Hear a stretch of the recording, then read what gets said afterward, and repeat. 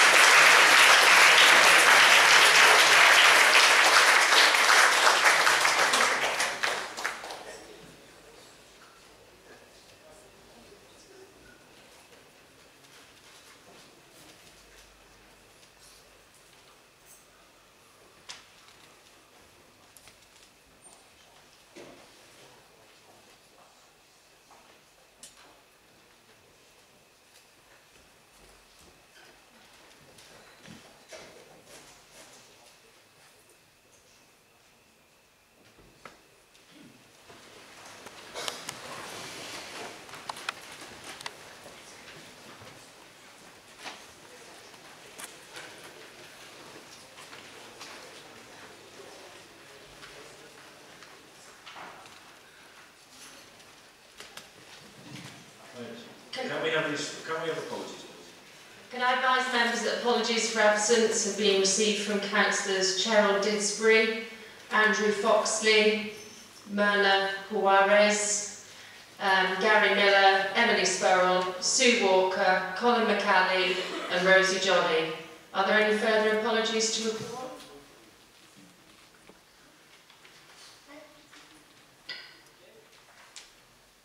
Before we move any further, can I just express my congratulations to Leon Tootle. Leon Tootle's birthday is today, so can we all wish him a happy birthday?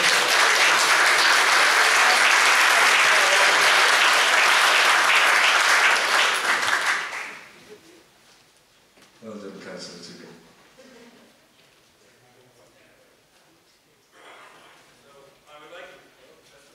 I would like to emphasise this is a key meeting. I therefore request that everyone present, including the public, treat this meeting accordingly, which will enable the business to be dealt with effectively. The use of social media and filming for reported, reporting proceedings is permitted during council meetings.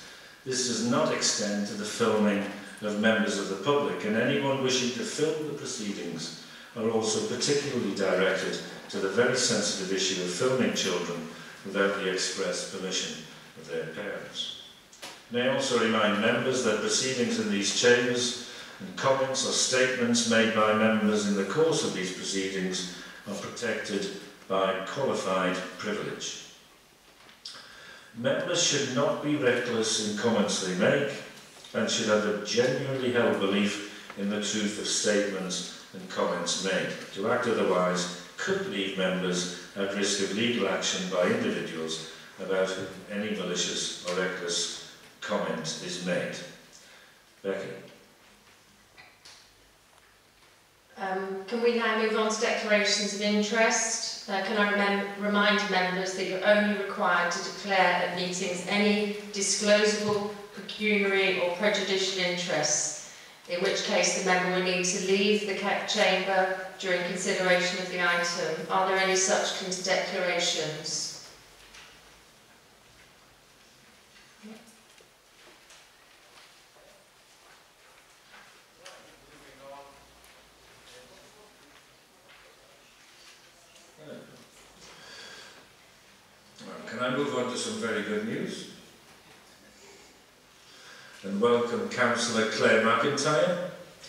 Uh,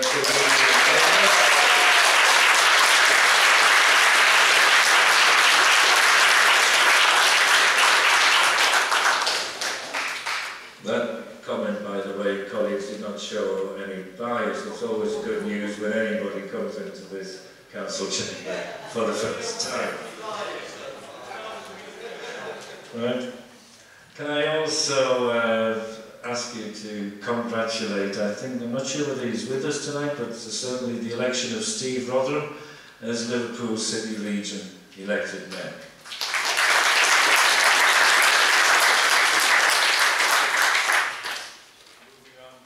Moving on to item four, minutes of the last meetings. Uh, can I ask if the minutes of the Budget City Council meeting held on the 8th of March 2017 are approved?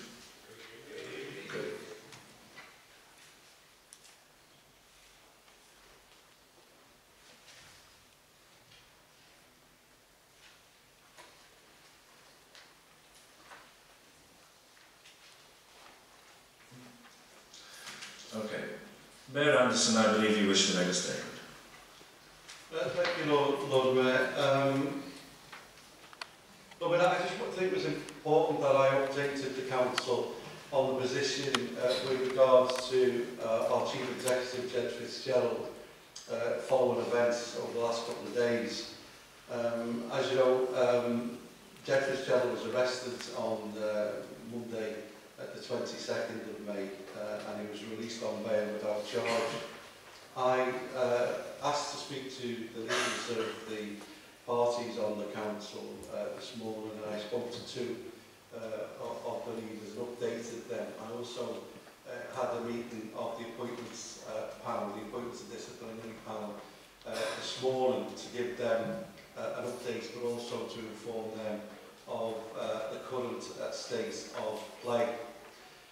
Um, it's important, I think, for everybody uh, in this chamber um, to understand uh, that it's a, for us as a city council and also under our own constitution uh, in relation to the officer member protocol, that's important uh, for us not to speculate about uh, what uh, it means because quite simply I've always uh, believe um, that our justice system is based on a simple principle that we're all innocent until uh, proven guilty. And I think we should remember that this remains uh, the case.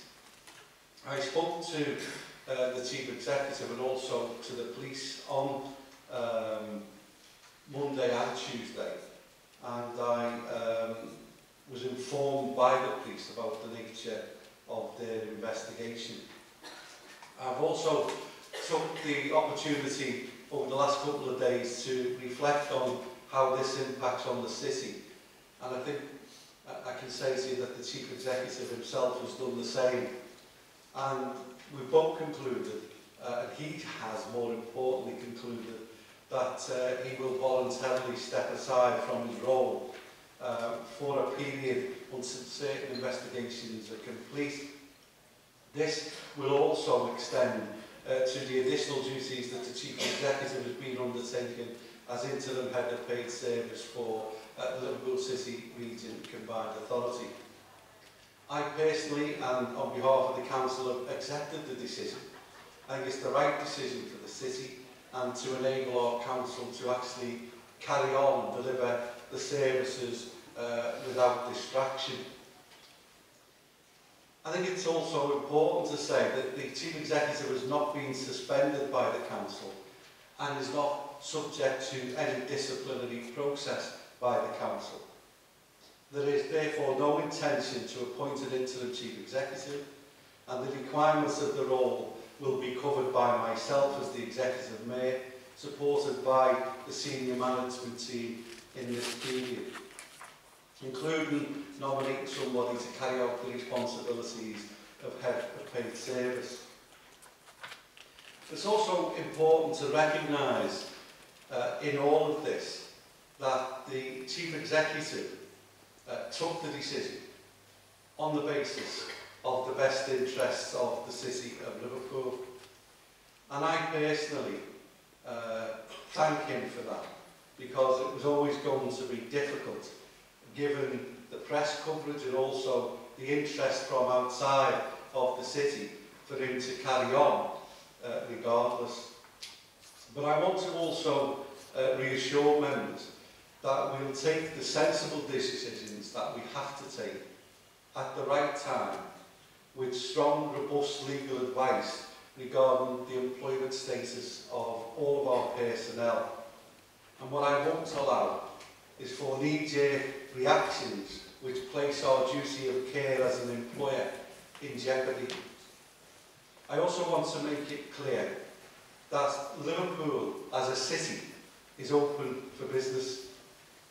It is, from my point of view, business as usual.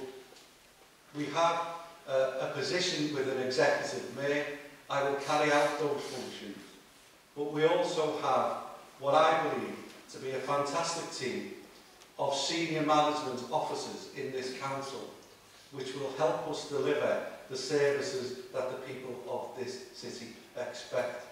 So to those who want to uh, whip up uh, and smear the things that are happening within this city, it won't make any difference. We are a city that is open for business and we are a city that is following and abiding by the principles that everybody in this chamber should hold dear. Lord Mayor, I'm happy to accept any questions on this matter.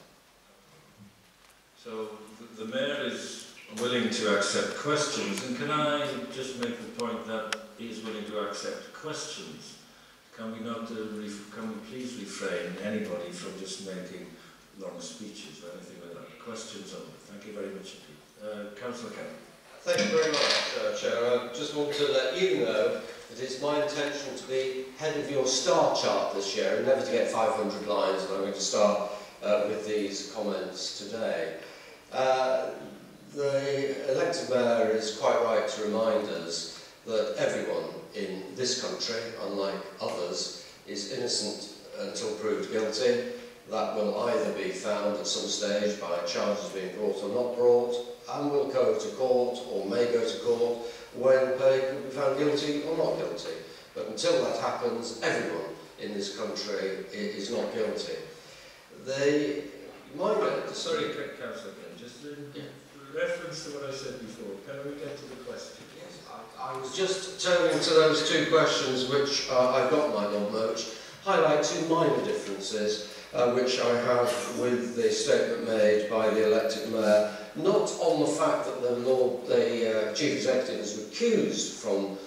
uh, this position, because I think he is absolutely right that, for example, had he been here today, that would have dominated the press coverage rather than the, the, the elections in New Year. So my question is twofold.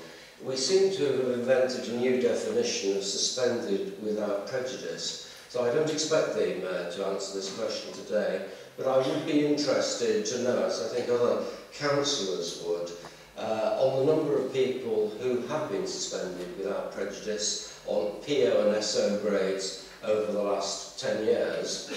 The second question I've got is the financial position uh, incurred by this council in proceeding with the course as it does. Uh, I too have taken legal advice on this matter, and it would appear that should the uh, voluntary uh, separation of uh, Mr Fitzgerald from the council continue for anything more than a fairly minimal period, then by paying him, uh, those payments will be ultra vires.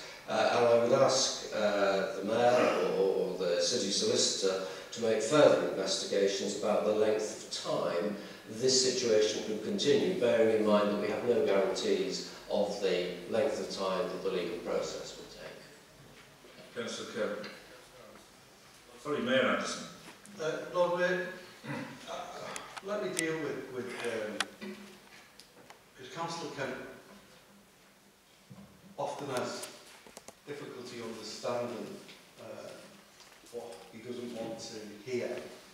And then he also has selective amnesia. Let me tell them that we did not say that the chief executive would be suspended. It says he voluntarily removed himself. There's a big difference. And then we talked about is he going to get paid? We also, in the previous comment, mentioned that we took the decision without prejudice. To not pay him, I would suggest, is prejudice. And I would also suggest that given the fact that he's done nothing wrong in this council, there are no issues, disciplinary issues for him to face in this council. It would seriously prejudice this council and put this council at risk if we did such and take such an action as you are suggesting. Let me address then the issue of your selective amnesia. The fact of the matter is, he's been arrested, not charged. And I don't recall you when Warren Bradley was arrested, charged and convicted, jumping up and down saying there was anything wrong. And I don't recall you doing it when Mr Hayes was arrested, charged and convicted and carried on in the roles as councillors. I don't recall you jumping up and down. And let me just remind you about the difference between your administration when you run it and my administration when I run it. We will always do the right thing and we will not take risks with taxpayers' money and the public. Because let me just remind you again because of your selective amnesia. Let me just remind you because people need to remember this, because we do have a duty of care to all employees of this council. And I would remind this council of what happened when the bullying and intimidation of Jason Harbrow by the then leaders and members of this council led us to actually pay out £230,000. I will also remind people of what happened with the former chief executive of the council David Henshaw. And the fact that that cost us £340,000, over half a million pounds worth of taxpayers' money because of your administration's running and dealing with matters, internal matters that were couched and acted and said and stated and found guilty of bullying and intimidation of people within the council. That were the charges, they were the allegations made and they were found to be correct. That's why the current former sorry, leader of the Lib Dems had to stand down, if you remember. So we'll take no lessons off you about how we conduct ourselves. Let me just make it absolutely clear that right throughout this process, I've engaged and worked with not only our internal legal officers, but external legal officers. I told you that this morning. I explained that to you this morning. And as far as I'm concerned, know, I'm sure Councillor Radford will agree as a HR head, that it is absolutely important that this city council treats people with the respect and the dignity that they deserve. And as far as I'm concerned, I will stand by that tenant principle, basic principle of our, all, everyone in this chamber and everyone who lives in this city, the human rights in terms of innocence until proven guilty. And I'll remind you, remind you to bear in mind The chief executive of this council has not been charged with anything. And in relation to his role as chief executive of this council, he has done nothing wrong. You just need to bear that in mind. And also bear in mind the officer member protocol when you make some of the comments that you make. Councillor Crone. Thank you, Lord Mayor. I have a few questions for you, Mayor. The Chief Executive will be receiving his full £200,000 salary while he's off for this indefinite period. I'm sure, you're, sure you'll agree that it's uh, very painful for any public body to be paying out money in return for no services in return. Can you confirm whether there will be any additional remuneration to any other members of staff who are helping to cover for the Lord Mayor while he's off? So that's the first one, there be additional costs. I'm sorry for the Chief Executive. Uh, the second thing is the indemnity, which indemnity will be, will be applied. The events that have been um, looked at by the police involve Lancashire Council, and therefore it would seem rational that it goes to Lancashire, not Liverpool City Council. And can you confirm that any official roles that need to be undertaken, such as returning officer, especially at this time, which is obviously an election period, will not be carried out by a political uh, member of the council? in relation to your, your question about the indemnity, the indemnity of the council applies to, uh, in under the constitution of the council, applies uh, in relation to Mr Fitzgerald as an employee of the council. It is in relation uh, to his activity here within the council that he's been looked at and spoken to in relation to Lancashire. Okay? So, so that's the, fir the first point. And it's under the Constitution. It's been sent to external uh, legal advice to make sure that we are following the Constitution, following uh, all of the things that we're supposed to do. So that, that's the first point. The second point you raised about whether he receives his salary, I refer you to the comment that I made uh, to uh, Councillor Kemp. He's done absolutely I was just referring to whether there be any additional cost to the council if other people who are helping fulfil his duties. I thought you also asked the quest, I thought you also asked the question because you said that it will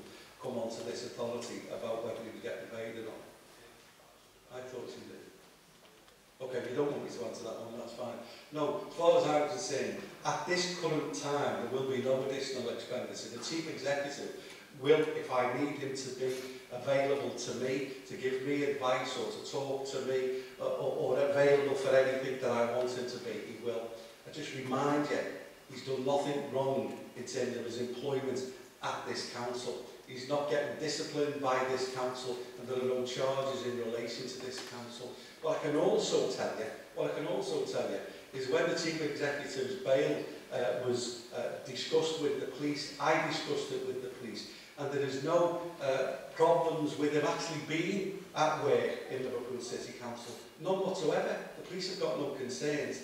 We took the decision because of the media service and because of people's interest in just him and not what we're doing as a city. That's why he took the decision to stand aside while he cleared his name and while we get through the, and get to the bottom of it. That's why he's made that decision.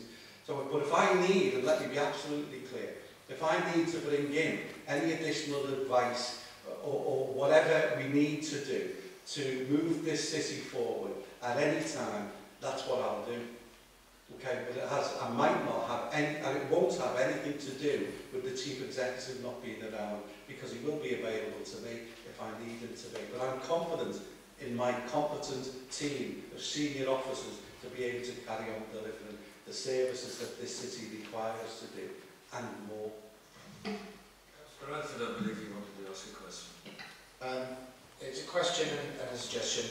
Can I thank the Mayor for inviting opposition leaders to, to meet with him? Unfortunately, I wasn't available, but I um, do appreciate that he took the opportunity.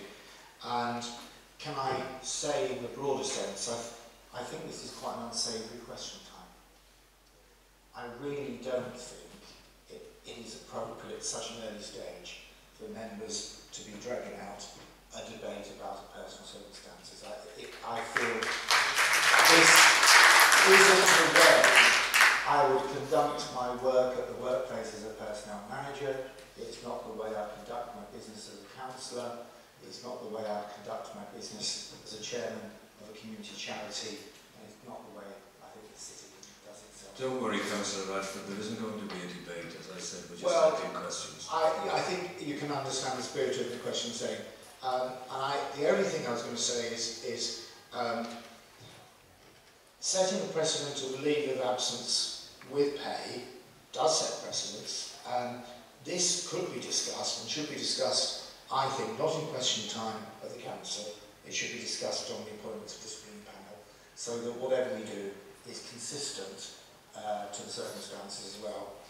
And the only thing I would ask the mayor to give consideration of is whether it would actually uh, add to the robustness of the committee to make maybe at some point a variation to include uh, some opposition members um, rather than just be uh, all of one party.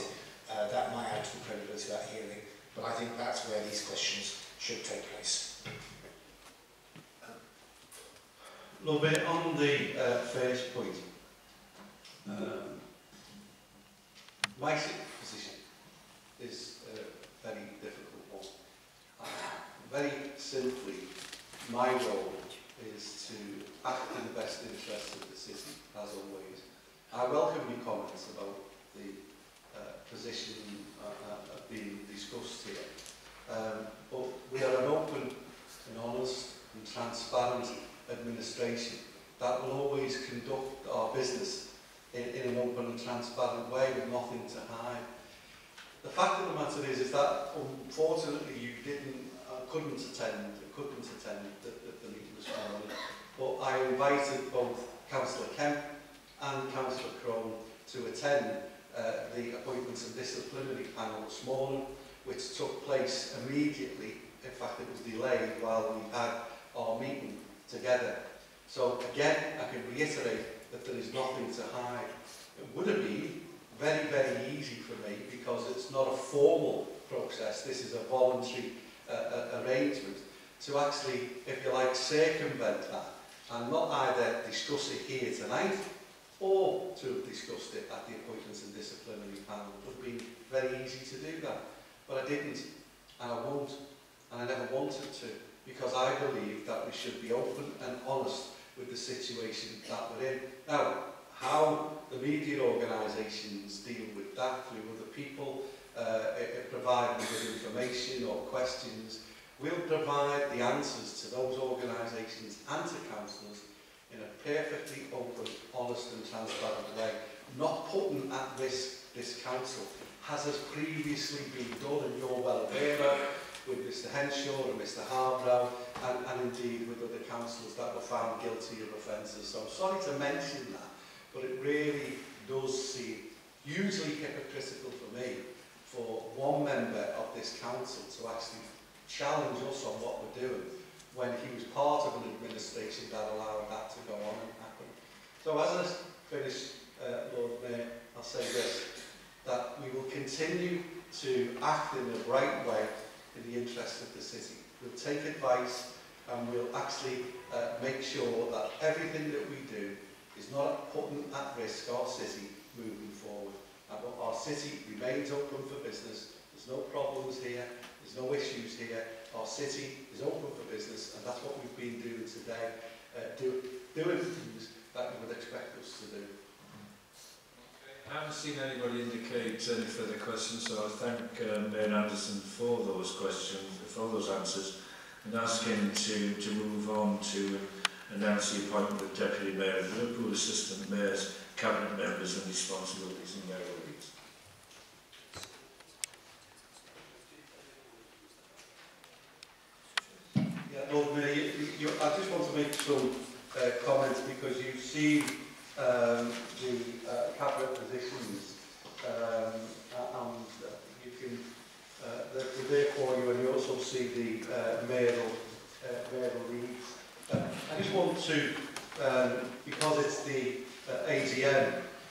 make some comments just around where the city is uh, and indeed what we uh, look forward to over the forthcoming 12 months before I actually get to the challenges we face and why I've um, uh, created uh, the cabinet that I have uh, and also with, with the mayoral leads.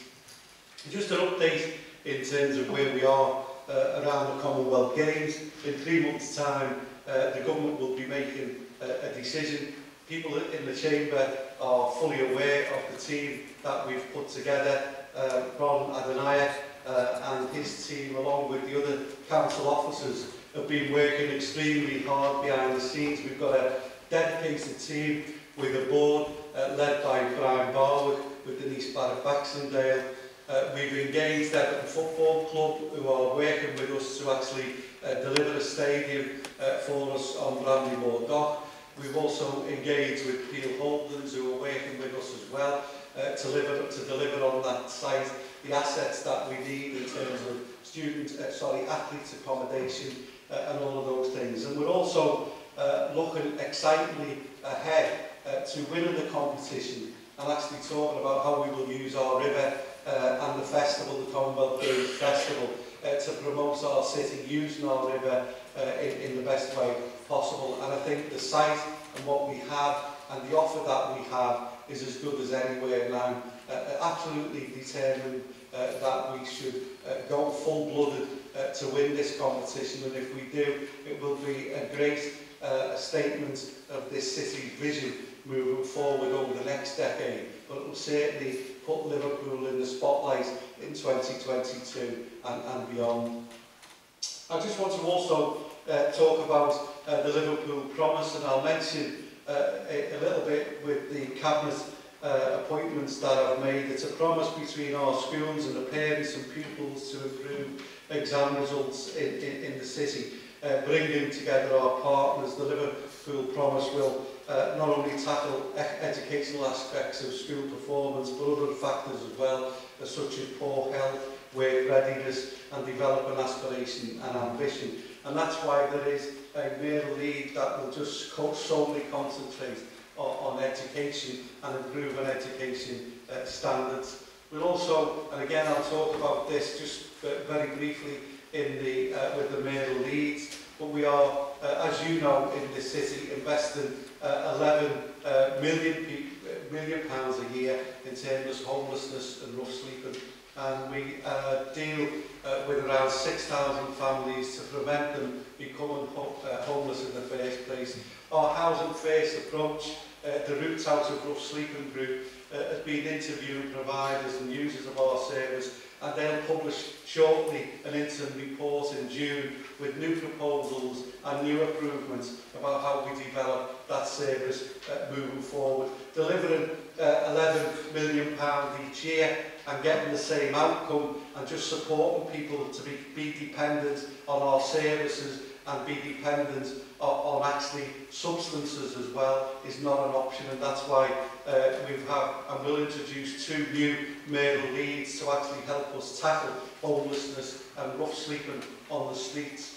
In terms of our housing company, there's nothing more uh, in our manifesto commitments that excites me more about our housing offer and what we propose to do with regard to housing in this city. I believe it will be absolutely transformational. It will actually not only transform our housing offer in this city, I believe it will be a lead, an exemplar of how housing should be done across the whole country. And indeed, I know it excites uh, political parties across the spectrum. Indeed, the Liberal Democrats have actually followed our lead and introduced the, uh, the rent to buy scheme within their manifesto, copying Major, for example. You couldn't ask for a better endorsement than that. So that's, uh, uh, sorry. Um, yeah, I'd rather have a conservative endorsement than, than a Lib Dem one. At least you can trust that. Uh, the, the fact of the matter is we then will be not only providing uh, support for housing, It will be a completely new offer and I'm sure uh, Councillor Hunt uh, and the Mayor League uh, working together will be able to uh, look at that. And I think we are going to also explore the fact that we probably will need to introduce a new housing select committee to look at how we move forward with housing moving forward. But I'm sure Councillor Hunt will talk in detail about that at the next regeneration select committee about how we're, how we're delivering that on economic uh, development and investment. and a number of exciting regeneration uh, projects and, and uh, opportunities that are being carried out uh, in the city at the moment, each one contributing to the transformation of our city and also creating jobs and creating a sustainable economy for the future. Paddington Place, uh, we all know uh, about, as an exciting opportunity um, 38 acres uh, of prime land next to the hospital. One of our uh, derelict school sites has been transformed. And today I was speaking to the Royal College of Physicians uh, and others that are moving on, on onto that site. And a great uh, opportunity. We've also uh, got plans for Mount Pleasant and the car park and the land at the back of the Adelphi, which is all in our ownership. And exciting proposals uh, will be moving forward on that soon uh, with a, a design uh, and also a planner application that will probably go in very early uh, next year. So the festival gardens, we've got great opportunities and great interest in the festival gardens, not just for housing, but for developing that site. Already, uh, as you'll have heard about the cruise liner terminal, we're actually on with uh, a design uh, being created and made for the cruise liner terminal with a planning application uh, going in by uh, the end of, of, uh, of this year. We've also secured land from Peel Holdens uh, with regards to developing that, which will give the City Council an income uh, uh as well. And you've also heard about the 23 million pound road infrastructure that's connecting our waterfront to the rest of the city centre through the Leeds corridor. We've also got the exciting news of Everton Football Club and Bramley Moor and the dock linked to uh, the Commonwealth Games. A great opportunity for one of the most fantastic institutions in the world, not just in Liverpool and the whole country, but Everton is one of the most amazing football clubs in the whole world. And I look forward to uh, seeing that. We've got the 10 Streets Initiative, uh, which is going to be a fantastic addition as we've got the Baltic Triangle growing so successfully that it needs to expand, that we've got 10 streets, but 10 streets is no longer 10 streets, it's about 20 streets as we actually widen the development of that area. And of course with uh, Liverpool Waters there's some exciting opportunities uh, not only with us with the Commonwealth Games again, but also some of the developments that are now happening on the Liverpool Water Scheme, some of them going to planning and some of them in planning uh, as we speak. And then on roads, one of the things that I remind people of is that if people remember the big dig that was introduced by the Liberal Democrats in 2004, what they did was they skimmed the surface of the roads in the city. They didn't do the roads properly. And as a result of that, some you know, 11, 12, 13 years on, those roads are disintegrating really fast and we've got to do something about it. So the bottom line is we are cracking on with not only uh, repairing the roads, but we'll probably have somewhere in the region of 180 million pounds over the next six years being spent on improving our roads across the whole city. So we are uh, getting on with that despite uh, austerity and despite the government's uh, cuts. I want to then uh, turn to some of the challenges uh, that we face in the city and how we are coping with them. But I'm going to uh, just, fit, just you know, give out some information uh, around my cabinet, why I've chosen those particular areas as cabinet members and then also talk about uh, the male uh, leads anyway. Uh, I'm delighted to uh, keep um, Councillor Alan Bain as uh, Deputy Mayor of Liverpool, uh, somebody that just goes from strength to strength uh, in not only supporting me but leading for the council in, in many, uh, many areas and as far as I'm concerned is doing a, a fantastic job uh, within that particular area. She oversees uh, the political governance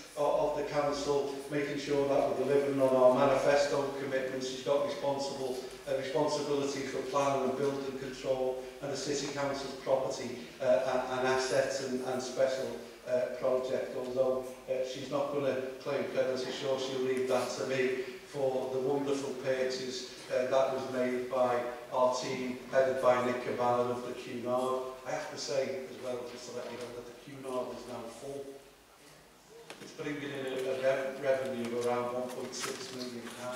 There's new jobs going there, hundreds of new jobs. And it was something that the Liberal Democrats and I think the Greens opposed as well. But it's now worth in excess of £28 million, pound, and it was a, a fantastic acquisition made by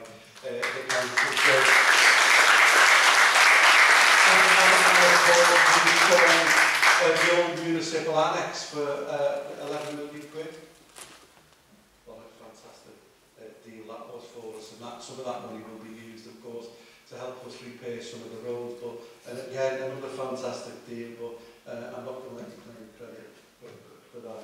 Um, and then I move on to our assistant mayor, councillor Wendy Simon, who's actually uh, head of Transform and Sports, the Recreation and Library Facilities, our council strategy and of course the visitor economy.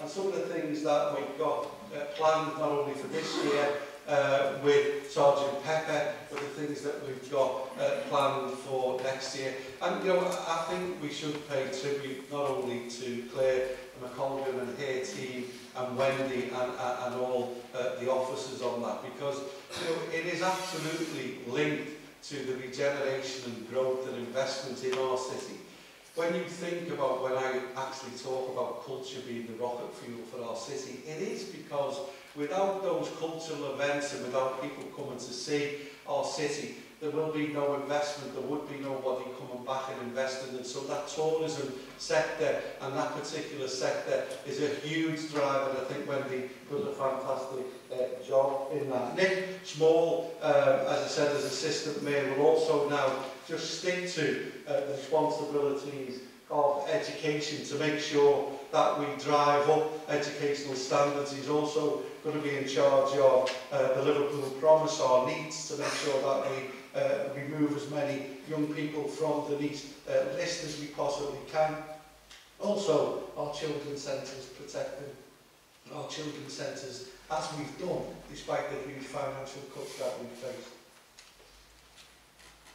And also then moving on, can I say that uh, we've got Councillor Paul Brandt, who not only is uh, dealing with the, the issues of adult social care within our city, but he's also dealing with the change in sort of face of adult social care and the need for us to adapt and change.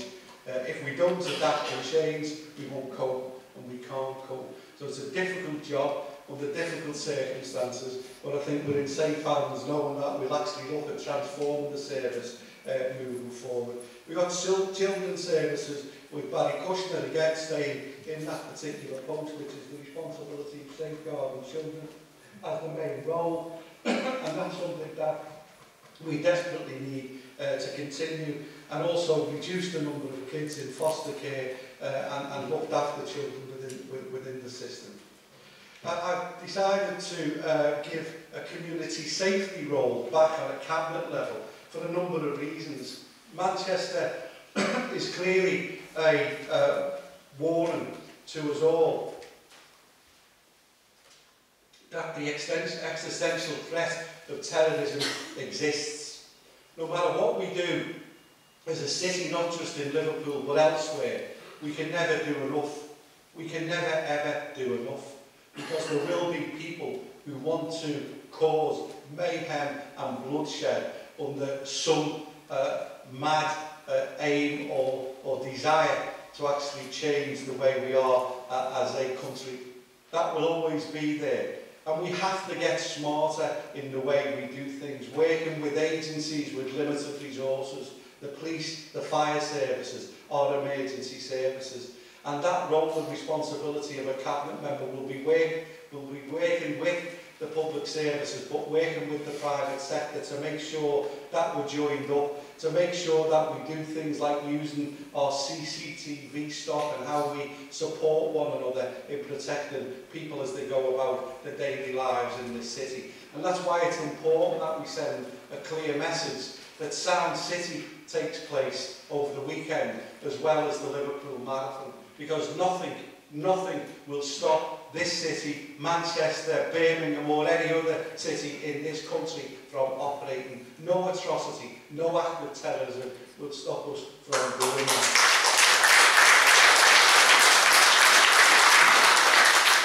I've just told you about our housing plans and I think they are absolutely some of the most exciting things that I think as a councillor of 20 years that we've been involved in. And I look forward to not only working with people who can't afford uh, to upgrade their housing, to provide them with an option to upgrade their housing, but allow them to actually have the equity in their house back into their bank accounts and we'll take on that property. We'll also be buying out properties in Tubrook, in Anfield and places and modernising them and creating sustainable communities, taking away the rogue landlords who want to snap up cheap properties and actually put three and four lots of families within them, as well as buying new houses. We'll actually be building new houses and we, we'll actually be refurbishing new houses That's why it's so exciting.